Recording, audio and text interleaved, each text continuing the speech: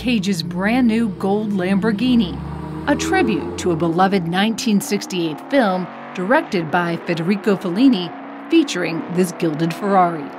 It was a crazy, beautiful Fellini movie, and it inspired me. So when I saw this, I said, that's the car. It's not a Ferrari, which would be great, but they don't really have any gold Ferraris. Have you driven this out here beyond the gates? Oh, yeah. Yeah?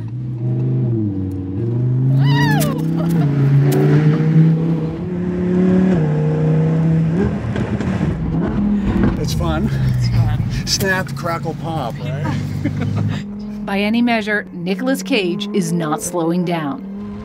He's revamping the role of Dracula in a movie out now called Renfield Please, come in. and has another five movies coming up.